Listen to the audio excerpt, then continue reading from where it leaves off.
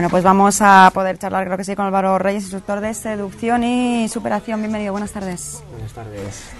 Eh, Has estado observando y escuchando atento esta charla. Álvaro, ¿qué te ha parecido y comulgas con lo que aquí se has puesto unos minutos antes? Me ha parecido muy importante lo que han comentado por aquí estas señoritas, porque es verdad que últimamente lo que falta es la comunicación entre el hombre y la mujer. Es básicamente lo que proponemos desde Seducción y Superación, que por un lado la mujer está asumiendo su rol femenino y no está expresándose como debería, y el hombre, como siempre ha sido un, ser un poco racional, también tiene falta de comunicación. Entonces, cuando no hay comunicación, hay falta de, comprensión entre la pareja y ocurren estas cosas que han estado com- comentando sobre, sobre el acto sexual. ¿Cómo enseñáis eh, con estos talleres, con estos cursos, a ser unos amantes eh, aventajados y extraordinarios? Pues lo primero que tenemos que hacer eh, a ellos es un tratamiento interno. Lo primero es quererse uno mismo. Una vez que tú te quieres a ti mismo, eres capaz de conseguir lo que quieras. Pero si no te quieres a ti mismo, no puedes estar esperando buscar el amor, ahora mismo hablando de San Valentín, en cualquier otra persona. Con lo cual lo primero es un trabajo interno lo que tenemos que hacer y luego ya le proporcionamos herramientas y habilidades necesarias para poder llevar este juego a cabo. Trabajo interno se dice así en 30 segundos, dificilísimo, autoconocerse, romper tabúes, barreras, ser flexible, etc, etc, dejar de lado el egoísmo, los egos y podríamos continuar. Pero, ¿verdad, chicas? ¿Verdad? Pero yo le digo horre a lo que acaba de decir, ¿eh? No, obviamente. Eh, trabajado eso de una manera ya personal, eh, ¿de qué herramientas prácticas eh, hoy queremos aprender realmente? ¿De qué maneras prácticas dotáis a las personas que se apuntan en estos cursos de seducción? Pues lo primero es la escucha. Hay, como he dicho, hay una falta de comunicación y la mujer siempre quiere ser escuchada. Cuando no se le escucha a la otra persona, eres incapaz de comunicarte de una manera efectiva para conseguir lo que quieres. Después lo primero también es saber qué objetivo te- tenemos en mente. Cuando hay un objetivo, cuando tenemos un objetivo en los negocios, cuando tenemos un objetivo con las mujeres, siempre vamos a saber el camino que tenemos que tomar, la dirección que tenemos que tener hasta llegar a eso. Muchas veces pues nos relacionamos con una mujer y tenemos tantos miedos y no sabemos hacia dónde ir que al final nos perdemos y no llegamos a ningún me ha lado.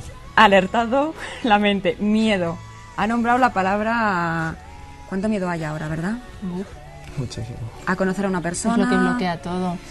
Mucho a, miedo al amor, a a dar el paso de que para que pase un encuentro, quiero decir, Y hay cuánto miedo hay. tanta gente que no está en pareja, con ganas de amor en su vida, tantísima, y por miedos se quedan barricados detrás de, de- de- de sus miedos sin acercarse a nadie y está, hay, el- o sea, hay tantísima gente en busca de amor y no se encuentran. Es incomprensible, Es un blo- es un es bloqueo absoluto, incomprensible. sí. ¿Cómo se trabaja el miedo? ¿Cómo lo trabajáis vosotros? ¿Hay ejercicios de desinhibición? ¿Hay ejercicios de seducción para...? Nosotros en los talleres lo que hacemos, tenemos talleres de dos días y el primer día, que suelen ser sábado y domingo, el primer día, el sábado, lo que hacemos pues es como una sesión práctica de, bueno, una sesión teórica de cuatro o cinco horas en el cual le damos la teoría de la seducción, como lo entendemos nosotros, y luego entre ellos les hacemos una serie de dinámicas de grupos para trabajar ese tipo de miedos para que cuando se pongan ya a abordar a una mujer o entablar una conversación con ella les resulte más fácil. Pero sobre todo el tratamiento del miedo es lanzarse a él. Muchas veces no nos atrevemos a hacer algo por creencias que nos han metido desde que somos pequeñitos. Y Cuando- luego te lanzas y funciona y va bien. Exacto. Y luego cu- cuando te lanzas y funciona, dices, hostia, ¿y por qué he tenido tanto miedo a hacer esto cuando resulta que no era tan, tan difícil hacerlo? final es más fácil de lo que parece. Claro. ¿no? Tenemos que Siempre- hacernos la vida más fácil, que la hacemos muy complicada. ¿no? Siempre es mucho más el miedo de, desde cuando lo estás mirando desde lejos y cuando estás dentro. Claro, además yo sé que desde casa todos se están identificando con este sentimiento cuando te gusta una persona y no sabes cómo acceder realmente a esa persona y para no incomodar y para no molestar y Y por vergüenza, Y por vergüenza y a los propios sentimientos, al rechazo, eh, son muchas cosas. obviamente. Más herramientas, que te he interrumpido con el miedo. más herramientas. Lo primero que, que decimos también es que hay que tocar a la persona desde el primer momento. No podemos estar mostrando nuestro interés solamente con la palabra si luego no, no eres capaz de tocar a la otra persona. Es como generar otra barrera más. Entonces nosotros lo que decimos es, tócala desde el primer momento. ¿Cómo? Hay diferentes formas de tocar. Según el momento y en la fase de la interacción en la cual nos encontremos, le podremos tocar de una manera u otra. Lógicamente, si a Cristina todavía no tengo la suficiente confianza, no voy a coger y le voy a dar un abrazo de la nada. a no ser que haya ganado la Champions League. Pero, a veces, Álvaro, eh, sientes esta necesidad imperiosa que la otra persona te dé un abrazo fuerte. Y Sí, también pero- hay que saber.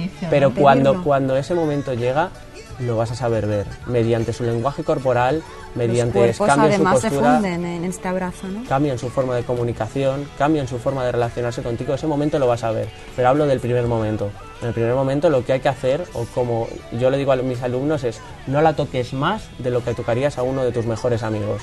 Luego ya según vayas avanzando, vayas generando esos momentos en los cuales generes atracción y romance, ya puedes ir incrementando tu contacto físico. Muy importante esto también porque a veces eh, te puedes sentir incomodada cuando hay gente que te toca, ¿verdad? Sí, yo O- como me estoy viendo así en la situación y, y me parece muy agradable cuando un hombre pues te, te dice que pases y te coge el hombro, ¿no? Y te...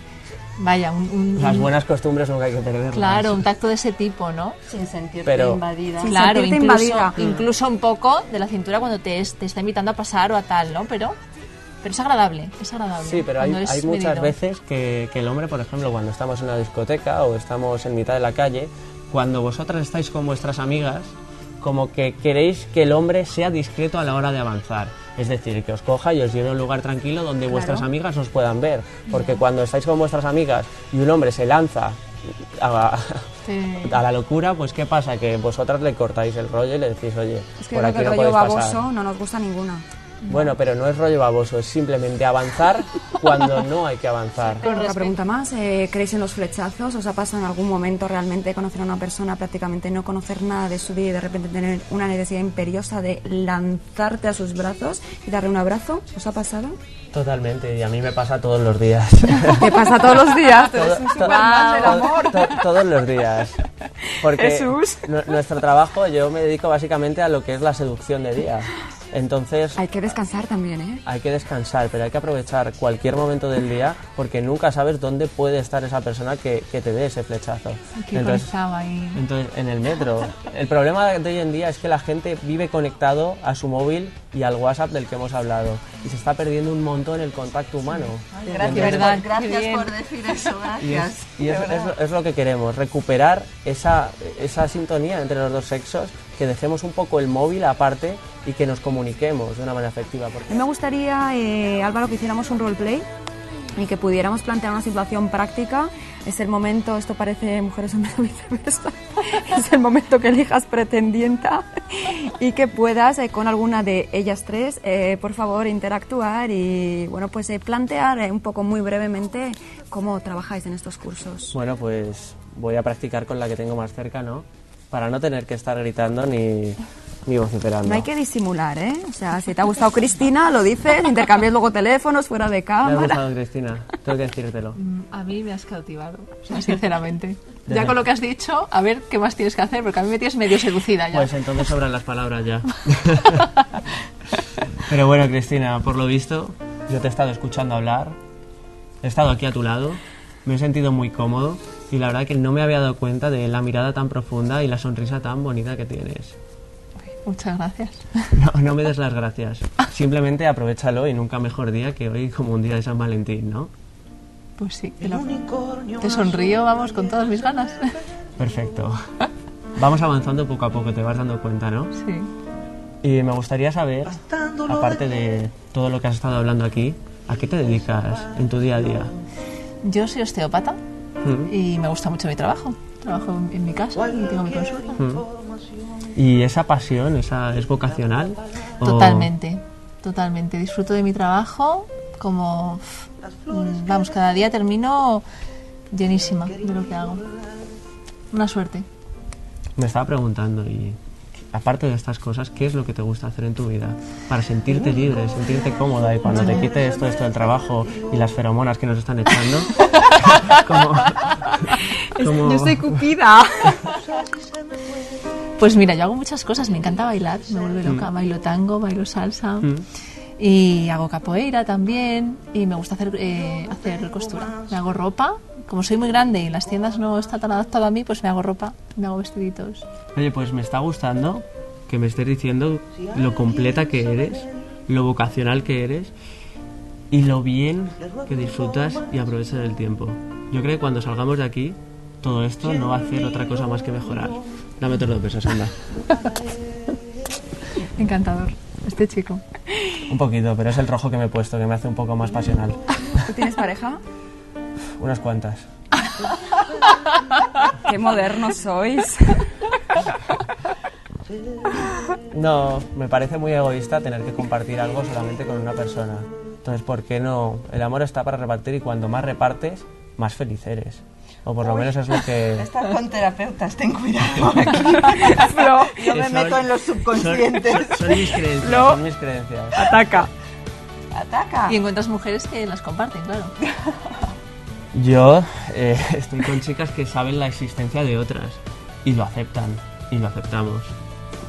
Hasta, alguna, hasta, hasta alguna, que- alguna no lo acepta, pero yo tengo una cosa, o sea, yo siempre tengo la puerta abierta.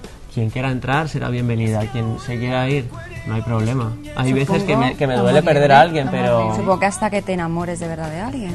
hasta que me den ese flechazo envenenado que me haga... Sí, yo de el amor te corre por las venas, solo hay uno, ¿eh? Eso que O una. Ya veremos, a ver si salgo hoy de aquí con uno o con varios. Varios ya tienes. Ah, vale. Gracias por recordármelo. Estamos hablando de algunas novedades. eh, vamos a hablar también de este libro. Además, vamos a poder em, mostrar eh, también la página web que hay al respecto de Seducción Élite de David de, del Vaz con Alejandro Galvez y Nuria Martín. Y luego también para los asistentes que vienen a mis talleres. Es el manual, ¿no? Digamos, como la. Biblia. Luego hay- ha escrito otro libro que es Secretos de un seductor. Y ahora ha escrito otro libro sobre su biografía, que es un material que está disponible gratis desde la web. ¿Qué Luego encontramos en este libro? En este libro encontramos desde cómo empezar a trabajarnos y querernos a uno mismo, hasta cómo dar el primer paso para conocer a una chica, cómo cerrar con beso con una chica y mantener una relación con ella. O sea, tratamos desde el inicio hasta el final que solamente te lo puedes marcar tú. Están los pasos, pero luego ya el aprendizaje depende de cada uno. Una cosa es lo que está escrito y otro ya el trabajo personal que realiza cada uno. Gracias, hasta aquí el tiempo de hoy. Espero que hayáis disfrutado, que también desde casa se lo hayan pasado bien. Tengo un regalo para ti. Muchísimas Te lo has gracias. ganado por este día. Muchas gracias. Me encantan las rosas rosas, tú- eh, rojas, tú lo sabías, ¿no? Lo sabía, me lo habían comentado antes de venir aquí, por eso he elegido esa específicamente. Gracias, Álvaro. Que vaya todo muy bien, Cristina, Flo, Sara. Muchísimas gracias y a todos vosotros que deciros que mañana estaremos aquí puntuales, que disfrutéis de lo que queda de la tarde y de la noche y que mañana aquí nos vemos puntuales de 5 a 6. Os quiero mucho y hasta mañana.